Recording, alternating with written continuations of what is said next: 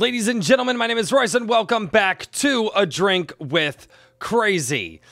So apparently, She Hulk wants to smash, and we'll get into that. But today, we're drinking good old Busch Light because, well, you can't drink the fancy beers all the time, and I don't want to waste all my fancy beers on a video like this. My goodness lord. But anyway, let's get into this video. Oh, man, I am so just not. I don't know if I like this. Ugh. If you've got Tinder, you might match with She Hulk from Gizmodo. Oh my god. What level of cringe has the Marvel Universe gotten to to where this is what they consider to be meta? It's not just like the they had the characters on Twitter like going back and forth, you know, having conversations that people could see. It wasn't something like that. It's She-Hulk wants to smash. And you could smash She-Hulk for the low low price of your soul. Anyway, Throughout the many trailers and promos for Marvel's She Hulk, two things have been made clear. Jennifer Waltz, uh, Tatiana Maslany, is a lawyer suddenly tasked with handling superhuman related cases, and she's not uh, terribly good at having a dating life. San Diego Comic Con say the attorney at law open a hotline for those in need, and now she's got herself uh, her very own on her very own Tinder profile. So, a fictional character for the purposes of promotion put up a profile on Tinder, which, if I'm not mistaken, most of the people that I know that use Tinder are looking for one thing and one thing only. And the family friendly Disney company felt that that was a good way to promote this. Uh, whatever this is. Oh my God. I. Uh, Oh, I wish I drank hard alcohol for this one. This this one this one gets me under the skin in more than one way.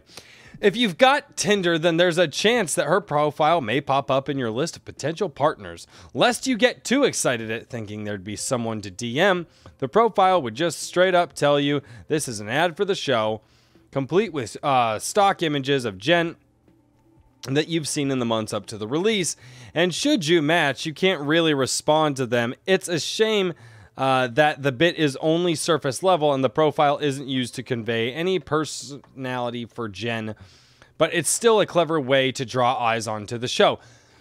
Okay, so at least they didn't go so far as to having like fake conversations with She-Hulk because again, they the I, have a major problem, and I've talked about this in the Lord of the Rings uh, video that I just did. I have a major issue with uh, companies and corporations acting like people. Like it's like why what really bothers me about all these Twitter profiles that are corporations acting like people. It's like yeah, everybody loves to laugh at like what the Wendy's profile does, but people interact with them as if they're a purpose or as there is if they're a person and the purpose the purpose of those profiles my god i'm tongue tied is to get people to think about corporations and companies like people and to get people to build some weird meta connection with them I, I, I have issues with this. Romance in superhero comics can be weird at best on an average day. No, completely false romance as long as it's written correctly can be perfectly valid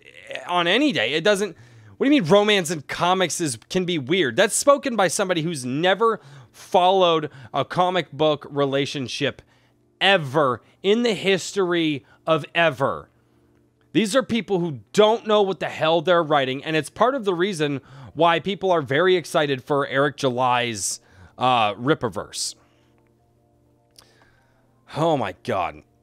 and that's just for the heavy hitter couples that have persisted for decades. No, it's not.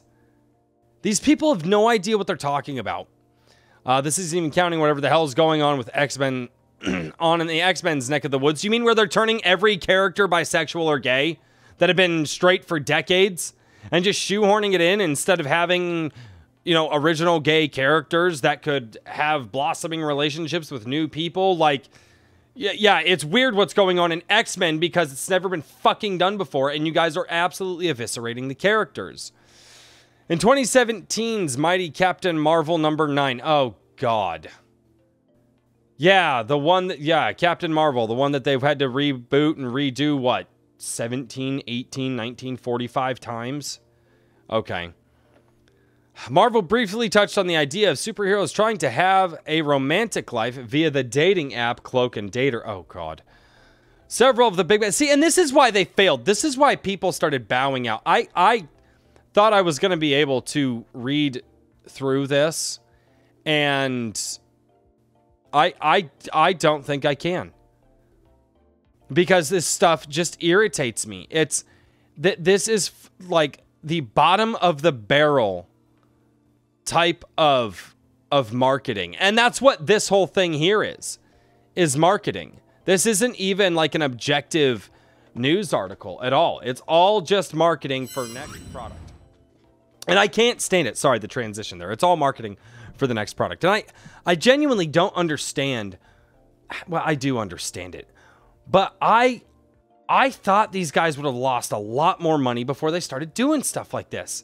And now what they're doing is they're they're trying this whole meta thing, but the problem is is that, you know, meta was kind of cute and cheeky like a few years ago. Um, but now that I, I'm starting to see more and more that people can't disassociate reality from fiction anymore, I have egregious issues with marketing like this. This is not like if it was just an ad that popped up on Tinder, that's one thing. An ad that looks like a Tinder profile. It's not. It's an actual Tinder profile that people are going to try to interact with, and those people out there who I, I, who who can't disassociate reality from fiction are going to get drawn into shit like this. Oh, well, she's likable. She's like me. She has a Tinder profile. She has. No, she doesn't. It's a fucking ad for a television show. But people will not get that. People and and sadly there aren't enough people for them to support this business model at all. Obviously most people can disassociate reality from fiction, but there is a larger portion of the population who can't. Larger than I thought that couldn't. And it's crap like this where it's like, "Oh, you can match with She-Hulk." And I'm like, "On Tinder." Really? On Tinder. You can match with She-Hulk on the website that is literally based around hookup culture.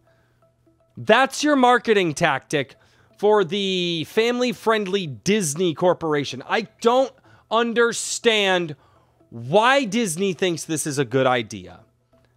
Obviously, they have investors. Obvious, but I, I, guess they keep making money, so their investors just don't care. No matter how many times you hear, "Oh, Disney investors are mad at them." Oh, you know, this quarter wasn't that good, and and like and and I and I follow actually a channel that that's it does fantastic Disney work, uh, which Clownfish TV. I love them. I think they're great. God, if I ever got to talk with them or meet them, that like the hashtag YouTuber goals, right? And and they cover a lot of what's going on with Disney internally and externally, and it doesn't seem like what's going on internally like they're slowing down at all. Thinking that this is a good idea is tantamount to disrespecting everything that came before it. And obviously, they've already been doing it, so they don't care. But again, it goes back to the idea that can we please keep fiction out of reality? Like Tinder is obviously a place that's very real for a lot of people. And I don't seem to get why we can't just keep the two separate anymore. We have to have these characters function in the real world and deal with your problems. This is a superhero movie. This isn't Friends.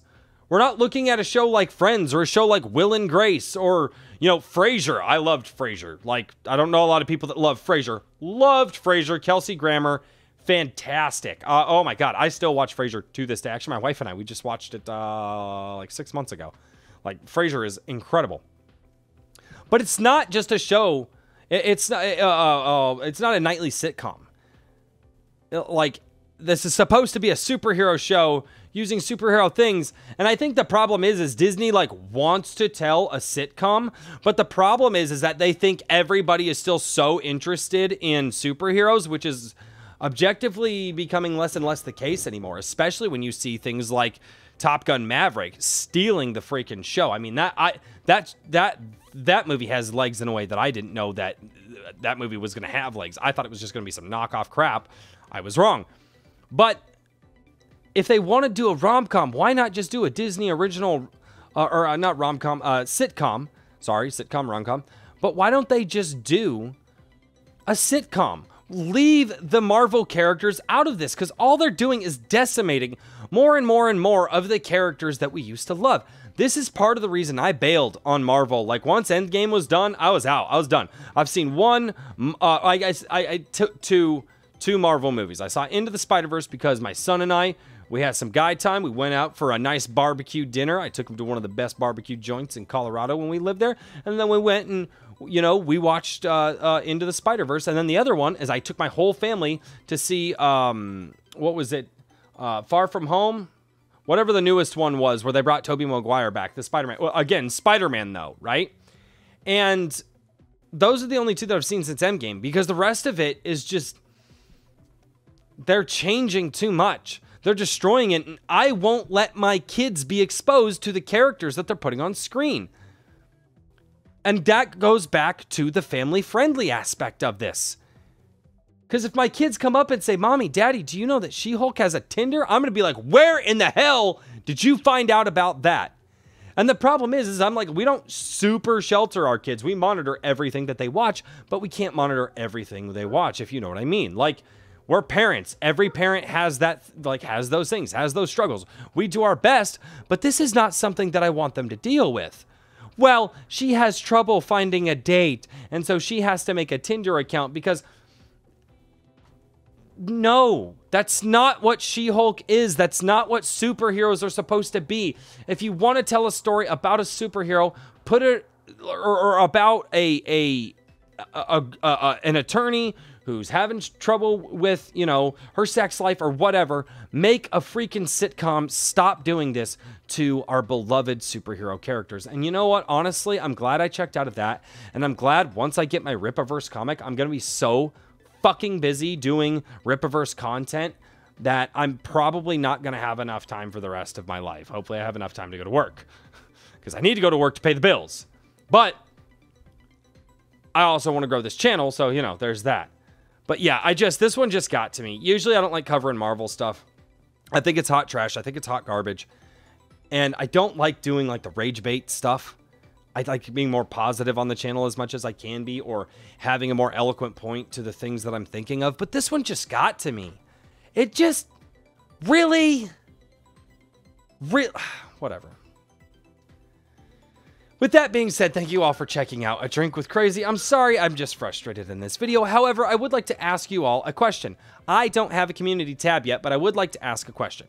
I've been looking at the YouTube analytics lately, and it says that most of you guys are checking out our videos basically between like 8 a.m. in the morning and like 11 p.m. at night.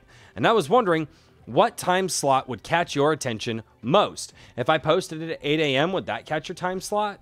If I posted it at, you know, uh, around 2 p.m. Would that catch it? If I posted around the 8 p.m. like I've been doing, well, 6 to 8 p.m., just depending on when I can get it all done, is that the most likely to catch your attention? I want you guys to let me know in the comments below what time slot is going to catch your attention the most because, well, I kind of want people to see this stuff, I guess. like, it's really fun. It's really cool to have more people engaging in the conversation. And with all of that being said, thank you so much for being here, and I'll see you next time right here on A Drink with Crazy. Cheers, everyone.